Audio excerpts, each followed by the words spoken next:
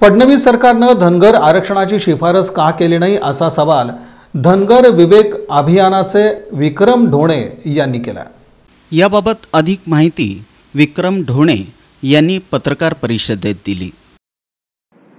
तीनची नेमणूक केली तीनची नेमणूक कोणती गरज नसताना केली. तीनचा अहवाल दोन वर्षानंतर आला. तो आल्यानंतर एक वर्ष होऊन गेलं तरी पण तो सभागृहापुढे ठेवणं अपेक्षित होतं किंवा मंत्रिमंडळापुढे ठेवणं अपेक्षित होतं आणि त्याच्यानुसार पुढे निर्णय घेणं अपेक्षित होतं. पण तसं काहीही न करता दोन हजार एकोणीसच्या लोकसभेच्या निवडणुकीच्या तोंडावरती पुन्हा मंत्री समितीची उपसमिती नेमली.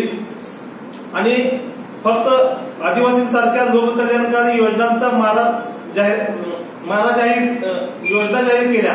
आणि त्या योजनांचा जाहिरातीचा मारा आता गेले चार महिने झालं. हा महाराष्ट्रातल्या सर्व इलेक्ट्रॉनिक मीडिया असेल रेडिओ असेल प्रिंट मीडिया असेल विविध शहरातील मोठमोठ्या शहरातील फ्लेक्स असतील.